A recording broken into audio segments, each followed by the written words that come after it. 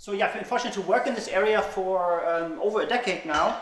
Um, and so when uh, you know Stefan asked me if I could give an uh, opening keynote, I decided to sort of take a sort of data-centric um, view. So um, okay, before I start, um, I should acknowledge that what I'll be presenting is joint work with many, many, many people. I mean, this is uh, you know really I've been I've been fortunate to work with people in, um, in academia, but also at UN agencies and NGOs. Uh, I'll just pick out sort of two names in particular. So there's Emilio Zagheni, who's currently um, uh, research director at the Max Planck Institute uh, uh for demographic research, and there's also my long-term friend and collaborator, Kiran um, Garimella, who both uh, you know really contributed to this line of work over the last um, decade or so. So um, I want to start by briefly reflecting on uh, what makes a good um, research project. And there are many ingredients, but I'll focus on sort of uh, uh, three. So one at least to me personally, is relevance, right? So, right? so hopefully what you do has um, relevance that goes ideally beyond academia, right? Sort of, sort of, so, so at least I like to always reflect on, so what will be the impact um, uh, of my work, right? And some people only approach their research from this uh, angle, right? So they might start with a, uh, you know, sort of broadly defined project. Okay, let's study Ukrainian migration. Clearly, there's sort of you know relevance and impact. So let's let's go um, with sort of with a relevance angle first. Um, another aspect, of course, is then sort of the, the data um, aspect, right? Sort of, so, so if you want to study something, hopefully there's some sort of data, right? Sort of, of to analyze, right? So you should sort of think uh, critically and sort of creatively about um, the type of data that you will uh, use, right? And other, some research are very sort of data centric, right? So, and I, I used to be a Twitter guy for a while, right? Sort of, sort of, sort of, okay, let's start with Twitter data and we'll figure out the rest later, sort of, right? So that's another sort of approach, right? And then, of course, last but not least, there's the actual um, method sort of so, so, so how, once you have sort of data and once you have hopefully like a sort of like a research question of relevance, how do you actually analyze um, them sort of? And of course, especially in computer science, you have many people who are sort of very method centric, right? Like sort of, so I'm a computer vision guy, or maybe uh, you know you're an expert on sentiment analysis, right? So I want to do sentiment analysis, and let's go and find some data I can apply sentiment analysis to, right? Um, in this talk, I will um, focus mostly on the data aspect, but of course the data is also tied to the other things, so there will also be elements of the uh, methods part. But I'd be happy to sort of uh, talk about the first element uh, also later in the um, you know in the Q and A as well as in the sort of in the coffee break. So um, the structure of the talk will basically be a uh, sort of run through different experience reports, uh, reporting on you know sort of work using different types of data sources. So I'll spend quite a bit of work looking at um, sort of Facebook advertising data, then satellite imagery, geotag tweets, and then time allowing some other uh, data sources that we've uh, used over the past decade or so. Um, right. Um, so in a nutshell, so the goal of this talk is kind of to see all of Europe in a week, uh, right, sort of so, which uh, might be a bit of a uh, big ask. Uh, so, if you, you, know, if you Google if this is even plausible, right, you come up with sort of epic itineraries. So, um, you know, hopefully this will be like a bit of a sort of epic speed run um, through the through the topic. So um, with that in mind, let's um, get uh, moving. So um, first data source I want to talk about is uh, Facebook advertising data. And actually, for those who haven't seen this before live, I'd like to start by making this as concrete as uh, possible. So what you see here um, is uh, Facebook's advertising platform. So this is publicly accessible for free. So you have access to this as long as you have a Facebook account without paying, uh, you know, a single um, cent, right? And so here I'm at the step um, of creating an advertising campaign where I get to select my target audience, right? So who is it that should see my ad um, uh, in the end, right? And so far I've selected Facebook users living in a part of Colombia that's called Norte de Santander, which is on the border with uh, Venezuela. So sort of Venezuela in the um, in the east, and then sort of the rest of Colombia in the uh, west southwest, right? So far, I've just selected Facebook users aged 18 and above, all genders, and otherwise no further sort of uh, limitation. And now the crucial thing to observe is this thing here on the right, right? So, so Facebook provides a so-called um, audience estimate. Hopefully, you can sort of see this as one to 1.2 million uh, users, um, where Facebook estimates how many people match your targeting criteria. So this essentially gives you a real-time, no-cost digital census over almost 3 billion Facebook users. Right? Where you can sort of ask of these of the Facebook user population, how many match certain criteria. Right? So for example, of these 1.2 um, million people, how many are um, uh, women? right? So for example, in some of our other work, we look at digital gender gaps, right? Sort of, so who has access to sort of Facebook, right? And here it's sort of split roughly equally down the, um, at the middle, right? Which is great. But now from a, a migration point of view, you can also look at how many of these Facebook believes to have lived in another country, in particular, uh, you know, where Facebook believes they, that they used to live in um, Venezuela, right? So now we're just looking at women in this part of uh, uh, Colombia who used to live in uh, Venezuela, right? And again, without paying anything, Facebook provides uh, an estimate, right? And so the question is, how, good is this estimate, right? How is it obtained? Or sort of, those are not sort of uh, questions to um, uh, to look at, right? But this is um, the sort of the, the key um, data source that we use um, for a lot of um, this work. Um, maybe just to make it a bit more, even more concrete, I'll show you some data visualizations around this. So this is data we collected just uh, four years ago or sort of, quite a while, almost sort of five years ago already. Um, in this case for New York um, City, right? So suppose you didn't know anything at all about the city and you wanted to understand a wealth distribution, right? Then you could um, look at just data from Facebook's advertising platform and look at the distribution of devices that are used to access Facebook. So let me try to explain what you sort of see um, here. So, so according to data that's pre-collected, again, it was collected almost five years ago, um, in sort of Manhattan and Midtown, about 90% of Facebook users are using iOS devices to connect to um, Facebook, right? So generally iOS devices are more expensive than uh, other types of uh, devices, right? So if you uh, sort of, um, so sorry, go back, right? If you compare this with, with the area of the sort of um, of the Bronx, where it's about sort of 40%, right? So just looking at the device types, you would probably assume that there's a sort of wealth differential between these two areas, right? Or looking at the sort of, um, you know, my migration background, you could look at, um, you know, where do people live now who used to live in Latin America in the past? And you would see that according to sort of this sort of Facebook advertising data, again, sort of in parts of the Bronx, about sort of 40% of uh, Facebook users, um, uh, you know, used to live in Latin America, right? Sort of, so, and you can sort of find this out and for any place in the world, sort of, sort of, so in pretty much real time uh, for free. Of course, here just it's sort of pre-collected to have a nice visualization, right? Of in the case of uh, New York City, of course, you have good open government data. You don't need any, you know, of this sort of toy data. But in other parts of the world, you don't necessarily have open government data, right? So, for example, this includes city of Doha in Qatar, uh, where I'm from. You have uh, zip codes, which you have to sort of use other types of geographic uh, targeting, right? So, if you, for example, you wanted to understand the situation of Nepali migrant workers, you can look at okay, Facebook users who used to live in Nepal, right, where they're uh, predominantly found. They're predominantly found in the so-called industrial area. Now again, there's no official sort of ground truth you can validate this against, but if you Google sort of industrial area uh, Doha, you would see that this area was built to house people from uh, South and Southeast Asia, sort of. So, and certainly with, this also sort of aligns with my experience living in the city, right? Uh, they're almost all uh, men, uh, very young, right, which is a blessing during COVID times, and almost all Android device users, right? Very few can afford iOS uh, devices. If you contrast this with people from um, other backgrounds, for example, Western Europe and North America. Um, I live right here, right, which is quite typical for people like me, sort of, so in, in a sort of in a high-rise building. It's roughly gender balanced. I can bring over my um, my wife and my my daughter.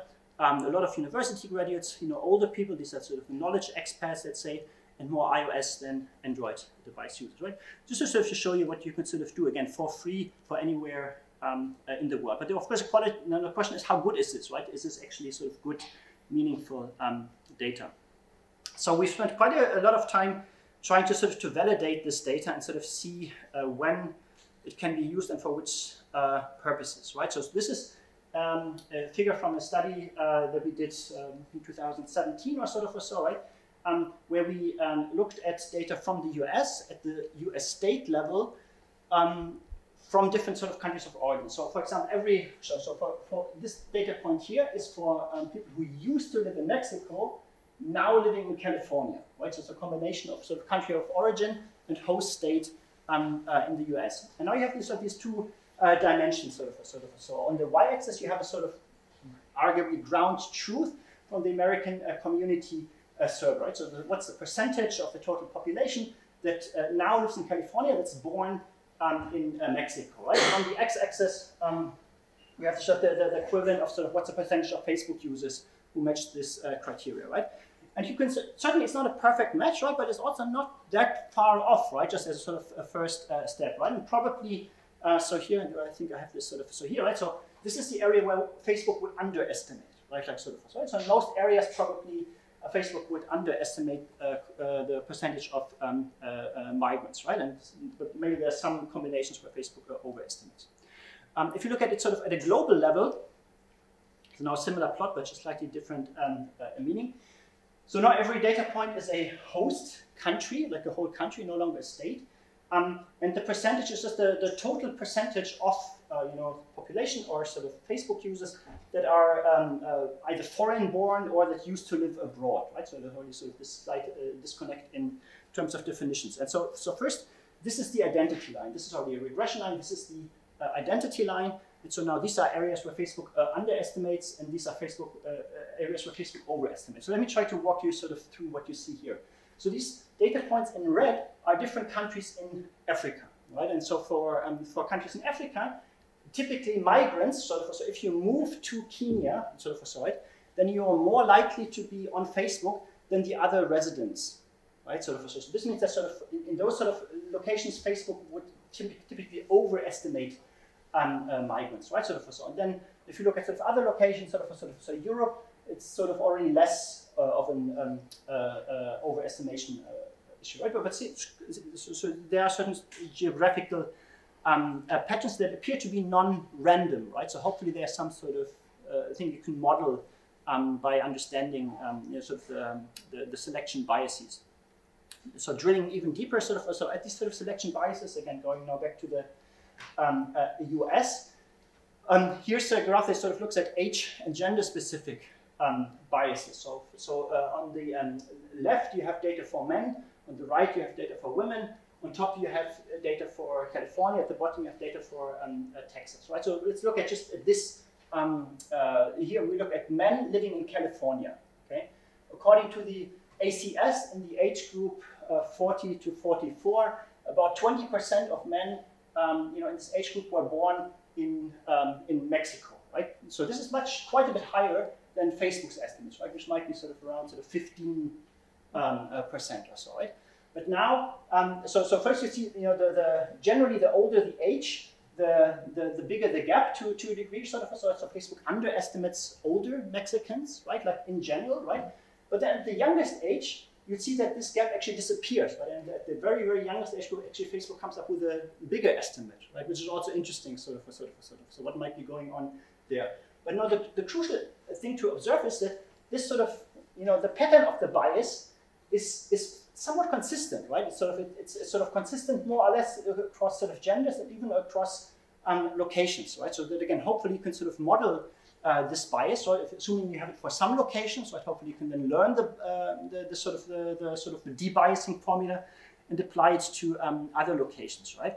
And so one simple way to do this is a very, very simple way, right? So if you suppose you wanted to sort of predict the percentage uh, foreign born in a given location for a particular age and gender group, for a particular um, uh, country of birth, and for a particular sort of target state, right? So you just put everything together, right? So first order approximation is just, okay, what's going on on Facebook? And then you add certain bias terms, right? So maybe certain um, countries of origin are over or underrepresented, uh, certain age groups are over and underrepresented, um, uh, etc. Right? And so with this simple sort of um, sort of uh, correction, sort of, so you um, evaluate it in an out of sample um, manner. You bring down the, um, you know, the, the, the, percentage error from uh, uh, sort of 56% to sort of 37%, right? Using a very, very simple model that doesn't even look at sort of GDP or internet penetration or um, a language um, spoken, right? So, so there's sort of, there's some, this seems to be like a quite powerful sort of data source uh, for this. Now, um, uh, so after validating this, right, so broadly that there is a, seems to be a strong signal, we've been using it uh, operationally, working with UN partners in different uh, contexts. And so here I'll uh, talk about our experience uh, working in the Venezuelan context in a second, right? And so um, let me see, walk you through what you sort of see um, here. So everything here is for Facebook users who used to live in Venezuela. So here we're only talking for people from Venezuela, and every everything else is for a different host country or host region, right? So for example, let's look at the data in red, right? So now we're looking at people from Venezuela living in Colombia. If you look at this bar down here, the lower estimate is just the raw number of active Facebook users who lived in Venezuela at this time, right? So this is sort of when the data was collected in June 2018. So that's just the, the, the, the raw uh, estimate. Now that's likely to be an underestimate, right? Because probably not all of the Venezuelan migrants uh, are on Facebook, right? And so if we um, if we assume that there are no false positives here, we somehow have to correct for the sort of Facebook penetration, right? Now we don't know the exact Facebook penetration among Venezuelan migrants, so now we make a big assumption, right? We assume that it's the same as among the Colombian host population, right? So if we know, if, if we assume that in all of Colombia the Facebook penetration is 60%, then there's sort of 40% missing, right? So this is now this sort of very simple correction, right? So we're assuming, you know, sort of so it's the same as in a host country, we're missing the 40%, right? So if, under that assumption, this would be the actual number of um, sort of industrial migrants, right? And then we sort of monitor this across time, and we can sort of see how it sort of you know uh, differs among host countries and host regions. Again, the question is how, how good are these estimates, right? Like sort of, sort of so what's what's the sort of ground truth to compare against, right? I mean, nobody knows for sort of sure, but if you compare against different um, UN estimates, sort of so, so this is now for all of Latin America. This is sort of the, the, the, the gray bar, right? Some just raw numbers correcting for um, uh, Facebook penetration. You'd sort of see that there's broadly similar estimates to UN reports, but probably higher sort of or so. Now, again, ultimately we don't know for sure, you know, who's right or um, who's, who, who's wrong sort of, but certainly at least plausible, right, that it might actually be higher than the, the numbers in these um, reports. Right? Also interesting that even within the UN system, right, different depending on methodology, you have sort of different different estimates that are um, uh, derived. To validate it a bit more, we also work with partners in Colombia, uh, actually sort of so, who, um, who also helped to get data from the um, uh, uh um, Colombian government um, uh, uh, at the time. And so here, um, this is now at a sort of subnational level, right? So here on the left, you have uh, numbers of uh, Venezuelan migrants according to self-registration. Right? So they were basically asked, please come and you know register yourself, make yourself sort of counted, right? And this is then the data that's sort of uh, plotted here. Um, on the right, you have data that was collected around the same time using this Facebook advertising, right? And if you sort of zoom out, okay, there's some sort of similarity, right? Sort of Norte de Santander is quite high in both areas, but then further away from the border, Facebook you know, differs quite a bit from official uh, estimates, right? And again, the question is sort of who's, who's wrong, who's right. Um, because we were working with people in Colombia, they actually came back to us and just said, you know what, this is actually more in line with what we observe on the ground than this, right? And their explanation was that the, the self-registration efforts were much more pronounced on the border and not so much further inland. Sort of, sort of. So it's quite likely that the government was undercounting people further away from the border, right? Which is then sort of interesting, right? That you know, this sort of this big data company is probably better migration data than the government, right? Like sort of so. Right? I mean, arguably, right? And we don't know for sure, sort of, sort of, so, but there's at least some pretty reasonable evidence, I would say, that, that this is the, um, uh, the, the case. But you can also go beyond just the, the number, and you can try to understand the socioeconomic situation, looking now at the device type, what I showed um, uh, before. So let me try to walk you through this um, plot here. So again, everything is for Facebook users who used to live in Venezuela, who at the time of the data collection were living in a different country, let's say Chile, or even part of a country such as Sao Paulo um, or Roraima in Brazil. Um, now the order of these uh, plots, uh, of these bars, is according to the percentage of Venezuelan Facebook users using iOS devices, so Apple devices. So to make this specific, so Facebook users from Venezuela in Roraima, Brazil, which is sort of on the border that you would typically walk to, they are very, very unlikely to use Apple devices. Only 3% of those have access to, you know, generally more expensive devices. At the other end of the um, uh, uh, uh sort of chart, people who make it all the way to the United States, actually the majority of them use iOS devices, right? So this is sort of induces the order, you know, somewhat oversimplifying sort of from, from poor to rich in a sense. Now the question is, how do we get to this y uh, value, right? Like how do we actually try to assign like a dollar uh, number um, uh, um, uh, to these sort of percentages, right? And so for this, we trained a regression model to predict country level per capita GDP, right? So we sort of said, okay, can we predict the per capita GDP of Argentina using only the percentage of um, iOS users among the Facebook users in Argentina? Okay, so we trained a regression model. It's just using a single variable, right? What's going on on Facebook users among in terms of iOS users. This simple model works quite well. So the first it explains almost uh, close to 90% of the variation uh, in per capita GDP. And this model is then applied to these subsets, right? This model is just a mapping of percentage IOS to per capita GDP, and this then sort of gives this number, right? So if, if Venezuelans in Chile were a country, right, that country would have a per capita GDP of about 18,000 um, uh, uh, US dollars. Now the precise dollar value is, you know, is, it's, not, it's not meant to be precise, but I mean, we tried different sort of model sort of, you know, variations or sort of so. And at least we always come up with these three groups, right, where we are reasonably confident to say that, yeah, maybe not this relative order, we don't know, but we are quite confident to say that these people are probably worse off in a sort of socioeconomic sense, sort of, right? So, so these are mostly neighboring countries, often, you know, maybe walking to. These are people mostly still in sort of Latin America, and then people who make it all the way to the US or Spain in general, right? In aggregate, are probably of less concern than people, you know, just sort of next door um, in the jungle. So that's all, you know, seems, oh, great, promising, fantastic, right? Everything sort of uh, solved, right? Well, not quite. So I it also shows some of uh, the challenges, right? Because we were sharing this data operationally, we created like a very simple dashboard sort of a sort of a sort that was used by UNHCR and others, um, where in this case shows data for um, Brazil, right? So again, Venezuela, Venezuelan Facebook users in Brazil disaggregated in various ways. But just look at the head uh, line, sort of, sort of, the number on top, right? You could see the number sort of going up, but then suddenly at some point it goes down, right? Like of so, okay, that's interesting. So what was going on in February, March 2019? Right? Was it like return migration? Were people moving on to from Brazil to Argentina or sort of so? Well, no. Actually, what, what was happening at the time is that change, Facebook changed its algorithm of how they classify uh, uh, Venezuelans. All right, so just from one day to the next, they do, okay, well, now it's a new number, right? How do we know for sure that that's what's happening and not actual thing? Well, we only know because we are collecting such data globally, regularly for all combinations, like how many Germans are living in Qatar, sort of, so, right? at exactly the same point in time, we saw all of those numbers suddenly go down, right? So suddenly there are fewer Germans living in Qatar, fewer Venezuelans in Argentina, fewer Mexicans in Germany, whatever, sort of, so, right? And so this, well, that's, you know, it doesn't make any sense, sort of, what's right? And so we are quite confident to say that this is just an algorithmic change, right? And this is, of course, one of the key limitations. Like we sit on top of this black box, seems to be a powerful, useful black box, but that black box can change any day, right? Like sort of, right? And so, you know, how do you deal with this um, sort of? So that's a key key limitation in, when doing this uh, type of work.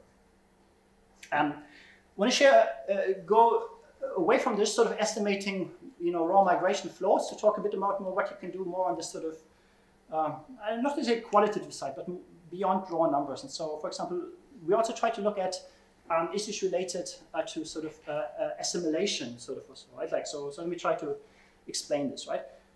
So you can also target people on Facebook based on what they're interested in, right? So you can, for example, look at, you know, what are Germans living in Germany interested in on Facebook, right? And let's say 90% are interested in football, 70% are interested in the scientist Max Planck, 40% are interested in sauerkraut right? So I'm allowed to make this joke because I'm German, so, so, so um, okay, great. Okay, so that's sort of like typical aggregate German interests of Germans in Germany, so, so right?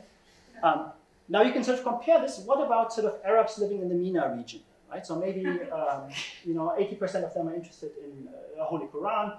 60% are interested in Ibn al-Haytham, like a famous uh, scientist uh, from the region. 60% are interested in uh, falafel, one of my sort of favorite foods uh, after living there. Now the question is, right? So this gives you kind of like, like I don't know, like, like, a scale. So what about now uh, Arabs living in Germany, sort of? So, so where, where, do they sort of fall in terms of this sort of spectrum, right? Sort of, sort of. So, so do, do they, yeah, do they sort of pick up? Do, do their food preferences change, or sort of so, right? Like sort of so, right?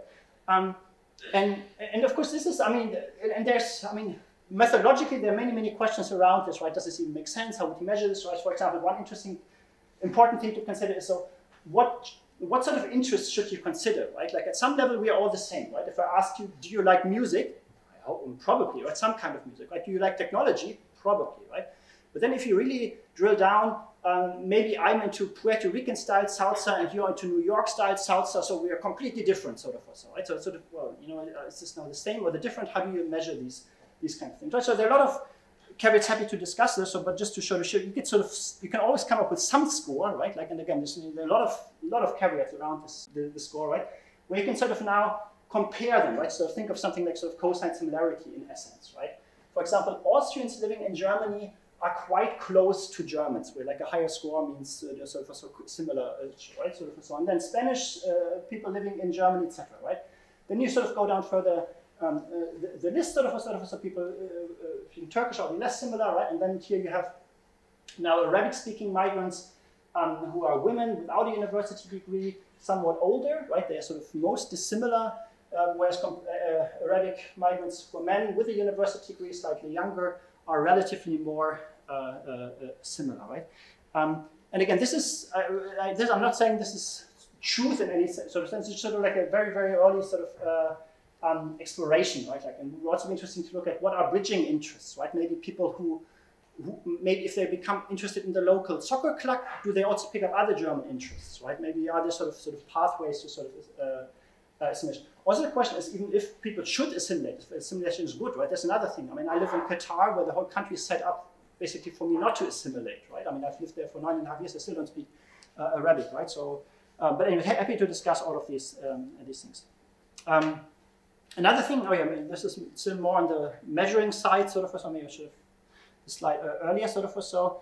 Um, Right, so now it's okay, what about Ukraine, right? So can you use this data for, for Ukraine? So this is a, a joint work with the University of Oxford, and it's led by um, uh, Douglas uh, Leasure. So what we're doing here is we're looking at internal displacement, so not necessarily at out migration, but internal displacement. And what we're sort of doing here is we're looking at um, uh, changes in basically daily Facebook users, right? So how many how many people are using Facebook today in Kiev, right? What about tomorrow? What about a week ago? What about a month ago, right? Like, uh, what about Kharkiv, right? How does it sort of change uh, uh across uh, the, the, country, right? Uh, so we start with this, and then we add a model to um, to account for the population who's not on Facebook, right? The children. This is sort of where a certain assumption, right? So basically mapping between the number of women in a certain range and the um, sort of uh, children in a certain range, right? This is a strong modeling assumption. And then on top of this, we are sort of correcting for changes in Facebook penetration, right? Because maybe the internet goes down overall, or you know, due to infrastructure damage, etc. So, so happy to talk about that more later. But then with all of this, you can actually come up with something like this, right? Where for a given location in Ukraine, you have a sort of pyramidation, um, population pyramid over time, right? Where at this particular date, more or less, sort of, so maybe plus minus a week, um, you can sort of see how does the pre-war population uh, compare to the current um, uh, uh, population. Okay, this was still more on the numeric side or sort of estimation side, jumping back again more to something more related to integration assimilation.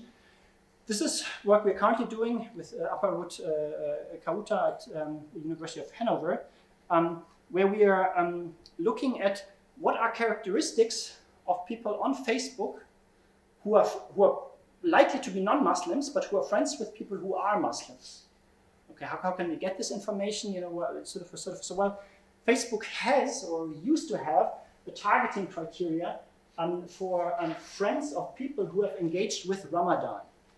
Okay, so so and, and this includes people who who are who are engaging Ramadan themselves, right? So I can look at who who has friends who celebrate Ramadan but does not celebrate Ramadan themselves. Right? What are sort of the characteristics of those, right? Sort of so, right? And now um, you know if you have such a friend, that might just mean you have a lot of friends. But if you have connect like 10,000 people on Facebook, probably one of them will uh, sort of you know celebrate Ramadan. So we have to correct for overall Facebook network size, right? And so how do we how do we do this? Well, you can target people based on whether one of their friends has an upcoming birthday, sort of a sign. So basically, right? And so the, I mean, the more friends you have, the more likely this one of them has an upcoming birthday, right? So we can sort of correct uh, uh, one for this, right? And just to this is still ongoing work, but at least it's already quite clear that it seems that uh, younger age is a positive factor. So that the younger you are, the more likely you have, you seem to have these sort of inter, intercultural, let's say, I don't know how to connections. And also higher education seems to be positive uh, thing. But then there's a lot of geographic patterns across sort of European cities that we're still trying to uh, disentangle. Um, now again, talking about the limitations of this sort of work, right? This is very interesting, and I'm some, you know, somewhat excited about this. But then again, Facebook changes things, right? So it's not, a, it's not, a, it's not static, right? So earlier this year, they announced some changes, right? The highlight is remove things related to religion, right? So if you wanted to collect this data now, you can no longer do this, sort of. So, so this is, you see these symbols a bit later in the talk a couple of times, right? So again, so now, again, we're fortunate we collected this data early enough, but we would not be able to replicate this or do this again going, um, going forward. And then the, I think the last thing I have on the Facebook thing is now targeted uh, online service. So this is, you know, of course, Stefan in the room is, probably the world's expert uh, on this.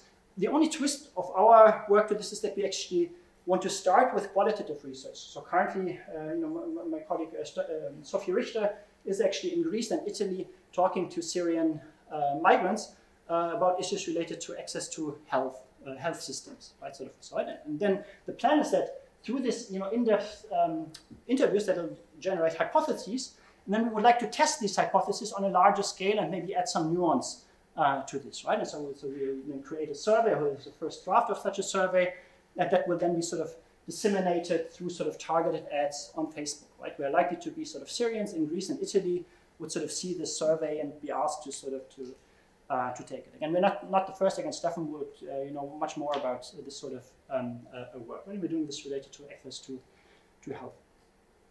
Great. So this was all about uh, Facebook advertising data. The rest will be much um, uh, much quicker. So um, the next data source is something you might not have thought about as a sort of migration-related data. Was actually satellite imagery. So again, let me try to show this quite uh, concretely. So we have access to uh, um, data from um, a company called, ah, okay, not now, okay. Okay, okay, okay. I'm not going to change my password now. Okay, sorry for this. Okay, well, you've seen satellite imagery before, so so you, you know what it looks like, right? So it's sort of this is the sort of the satellite imagery that you're used to from Google Earth, um, etc. And this is just what the platform looks like, right? This is I, I think Chernihiv in, in, in Ukraine. You can sort of see different sort of snapshots across um, uh, uh, across time. Right? So what are we doing with this? Right? We're not looking for you know, building damage or trying to detect artillery or something. No, we're doing something simpler. Right? We're counting cars. And so um, here's an example from um, Syria, where we just we started this before the Ukrainian sort of war, right? Where you sort of see, okay, here in a certain time period there are cars visible, in another time period there are no cars visible, right? Sort of so. And assuming you know cars are driven by people, right? That probably means some people have disappeared, sort of, right? And so we don't do this automatically, but now there's sort of the computer science element to it, right? So we use sort of computer vision to do this sort of for all the city and sort of to detect uh, all of these cars uh, automatically, right? So this I can maybe show you at least, right? So here's here's something for Kharkiv right before the war, um, right? So there are a lot of lot of cars, you know, along the roads and sort of other um, uh, locations, right?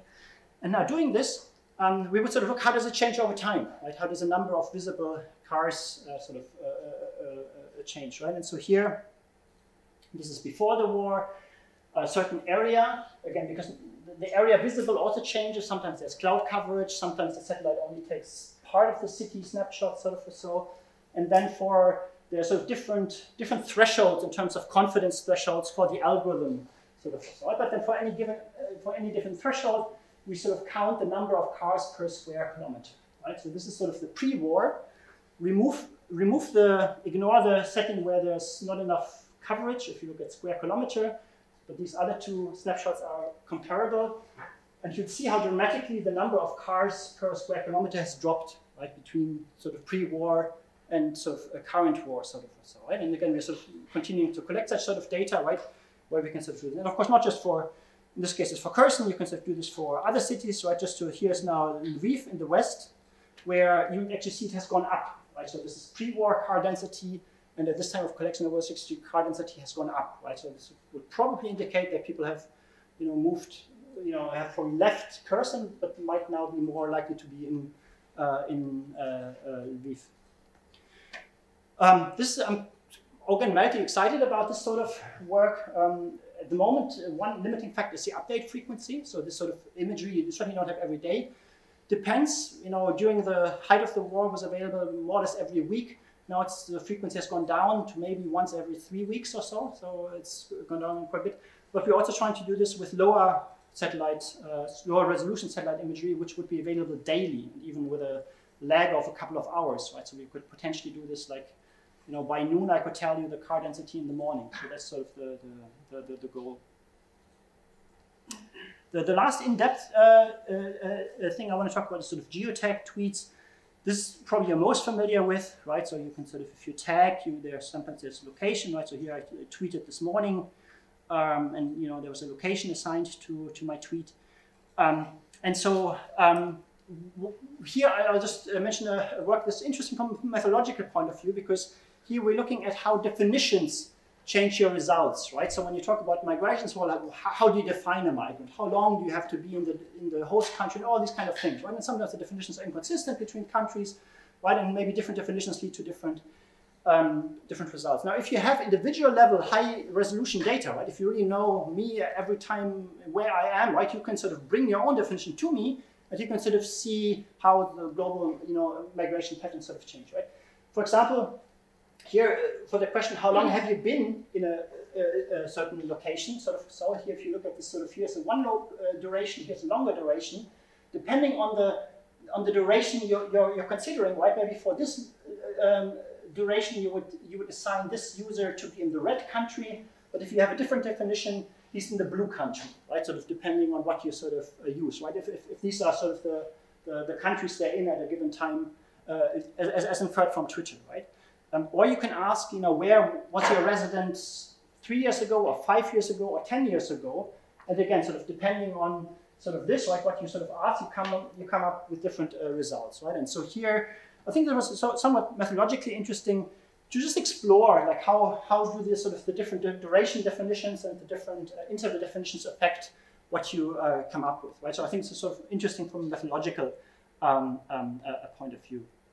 Um, um, again, this is other work, again, a bit more, less on the sort of numeric side, a bit more on the sort of qualitative side, where we look at changes in social networks, right? So maybe just show me, show you this live. So there are websites such as FollowerWonk, where you can sort of see somebody's social network. In this case, this is the distribution of my followers for followers that have on Twitter that have the location in their um, uh, uh, in their bio, right?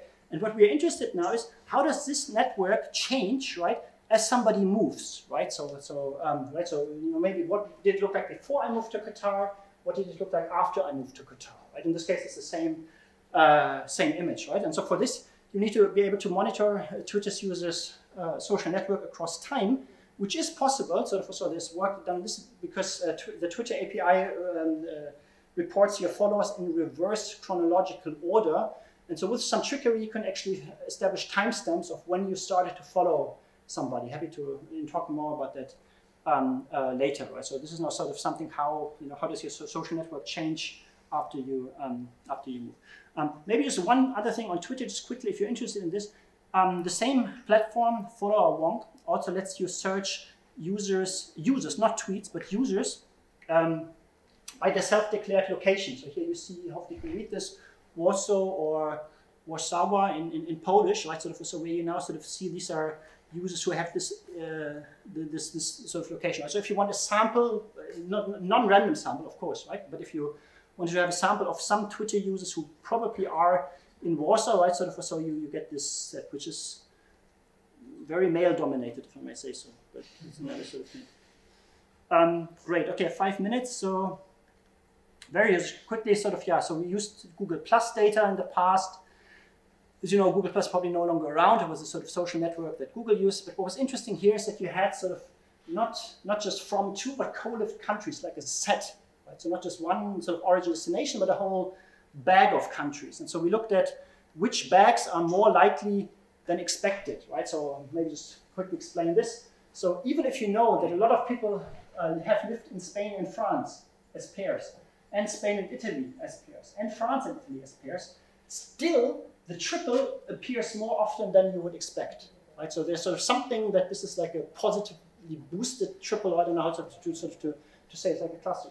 On the other hand, even though quite a few people have lived in Brazil and Mexico, and Brazil and US, or Mexico and US sort of pairwise, the triple is not as likely as you would expect. Right? So this is sort of like a sort of higher my orders of migration patterns. So it's sort of like a beyond, so we call it migration clusters, right? Beyond corridors to sort of clusters, right? So it's sort of interesting, just again, from a methodological um, uh, point of view. And, but again, sort of, it's one of those, you can't do this anymore, it's no longer there. LinkedIn advertising data, yeah, maybe I'll show this very quickly, right? So similar to Facebook, you can look at LinkedIn.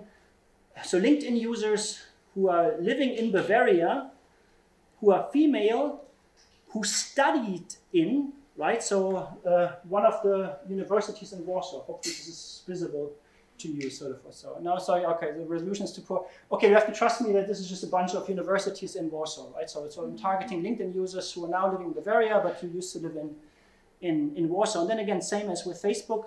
Uh, so there's a number up here, it says 450 users, right? So, so I can sort of, again, I don't know if these are Polish people, right? I mean, maybe these are people from Russia who studied in Poland, but again, it sort of tells me something about uh, migration. So you can sort of create these plots, right? So people who studied in the UK, and so you can sort of see who's a net benefiter or contributor, right? So there are more people studying in the UK than sort of ending up working there, and sort of other countries, Germany, kind of the other way um, uh, uh, around, for example. Yeah, Yahoo IP addresses, again, I used to be at Yahoo to 10 years ago. Um, again, if you have you know, based on your IP address, if you check your email, your, your email provider knows where you are. If you, if you know this information for hundreds of millions, if not billions of users, you can sort of create, uh, you know, migration estimates. And one, one problem, if you do this naively, is what you sort of see here is that, um, especially, I mean, again, we did this sort of like 12 years ago or something, um, especially at that point, um, the, the, the, sampling of older Yahoo users would almost surely over oversample more mobile users. So if you just, if you then from their mobility rates, you know, generalize to everybody in that age group, you think, oh, actually older people are more mobile than they actually are.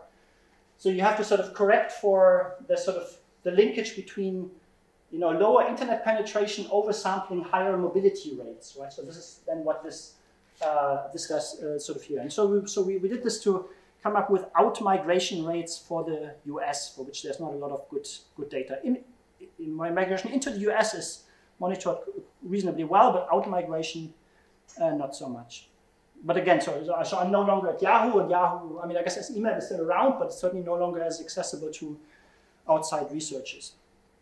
Google Trends, I'm sure you've, yeah, you are familiar with this. So, so, just FYI, it's not my work. You know, others are sort of working on this. Textual content of can look at, you know, whether people talk about violence or sort of a and how is that predictive of um, forced migration. Again, not my work, but just to mention it, there's other sort of maybe relevant. So Google location history, this is uh, also an interesting paper that came out a couple of years ago. No, no, a couple of years ago, I think earlier this year, even though not too long ago, right? So if you haven't seen this, so on Google, right, you can, I'm opting in to share my location, right? So really on a given day, right, Google knows where I was at 5.45 in the morning and where I was sort of in the evening, and I'm opting in to share this data with um, with Google. And then if you have such data for, again, uh, 300 million users, you can actually come up with uh, you know, estimates around mobility. Facebook, Facebook is also sharing data or used to share data, in particular related to uh, COVID-19, right, sort of also through their Data for Good initiative. There's also very great people behind that project, but uh, uh, also displacement maps and a lot of interesting data that was accessible uh, there. But again, you know, this black box sort of, or black box sort of changes, right? So, so they announced that they are sort of, for now, retiring these products and no longer updating them. So hopefully there'll be something new coming out of the Data for Good initiative. But for now, this is, this is gone. Okay, and then I have two minutes to wrap up. Okay, so um, yeah, quick, quick sort of recap. I know it was quite, quite fast. So hopefully, I think the value is relatively clear, right? So it's fast, it's cheap, almost global coverage. is very versatile, right? You can do a lot of different things with this sort of data, right? So great, right? But hopefully it's also clear that it's not, you know, it's certainly far from, from perfect, right? So first there's, it's very volatile, right? Of so as, as you saw, right, both platforms themselves change as well as the usage of those platforms, even if the platforms don't change at all, right? I mean, you know, now younger people are moving to whatever, Snapchat, TikTok, and other sort of platforms, right? So you, so you have to sort of adapt to this, right? It's definitely very non-representative and also noisy, right? You have fake accounts and all these sort of different things that you have to, to worry about, right? Black box, hopefully that was clear, right? I, I don't know exactly how Facebook infers where somebody has lived, right? We can speculate about this. Privacy and informed consent can be unclear, right? Like sort of so, like do people really understand what's possible with their data, right? Like even on even on Twitter, sort of was open. Or what does informed consent even mean for satellite imagery, right? I mean, can you opt in to have you know your, your car not being taken a picture of, right? I mean, what does it even mean, right? In, in this in these sort of uh contexts, right? And there's also a risk of group level harm, right? Because I mean, I showed you where the Nepali are in Qatar. Okay, there's maybe no risk there, but you could imagine that I could identify other minorities in other contexts where the government might actually take some not so favorable action, right? So, so there's certainly risk um, there. Um, yeah, so thank you, thank you very much. I'd be happy to you know discuss also during the coffee break or otherwise feel free to reach out by, by email.